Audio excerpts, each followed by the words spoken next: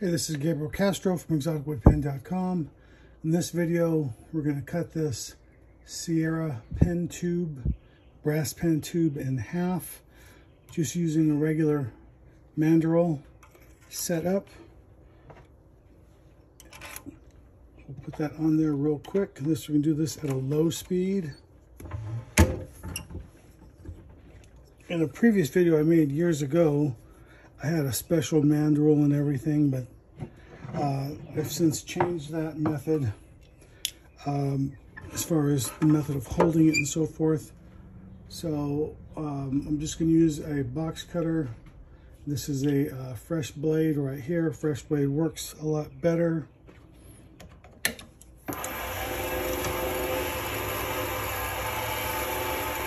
I'm just eyeballing that going to cut it. Cutting it from the bottom.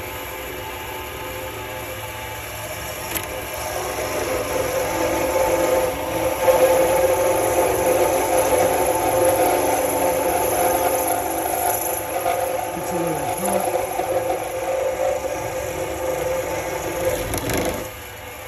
There we go.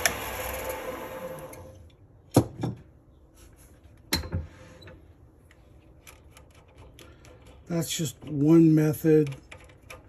Uh, another method, if you have a collet chuck and uh, you have a collet that will that will hold that, it will cut a lot easier, and uh, it it wasn't it won't bind as it's cutting because there's no pressure holding the two ends together. But this is a simple way of cutting a brass tube if you just need a portion of it for like what I'm doing uh, for my next pen build.